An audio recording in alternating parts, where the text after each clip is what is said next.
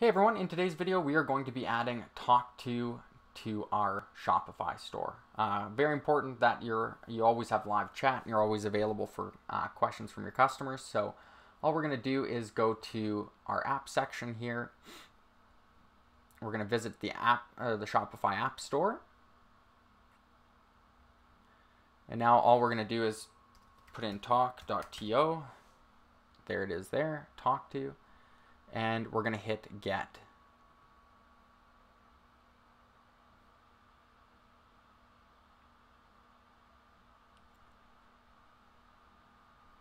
Hit install app.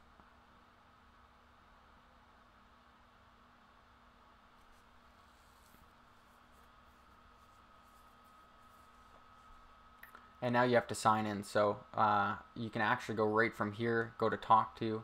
It'll open up there. And then we're going to go to sign up. So we're going to put in our name right there, email,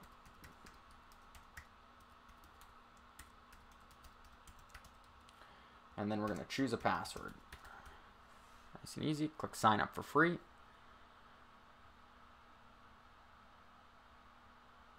We're going to let this redirect us to the dashboard. Hit save. And now select our language. And we're going to add this to our store. So we're just going to go back here, click on the little eyeball icon there, and grab this URL, go back to Tawk.to, put this in there, and go to add your site name and your site URL, hit next.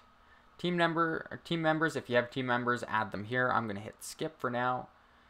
And then you can install this widget if you want. We're just going to hit done.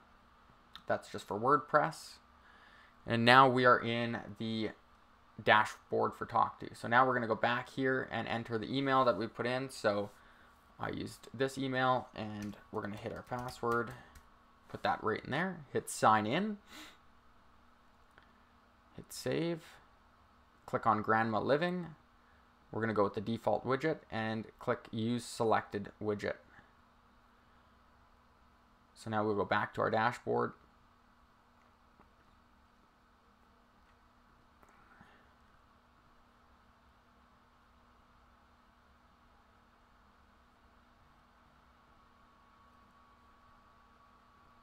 and here is Tawk.to. So in the next video, I'll show you how to customize this a little bit more and we will uh, get this looking really, really nice and color coded so that it fits your site.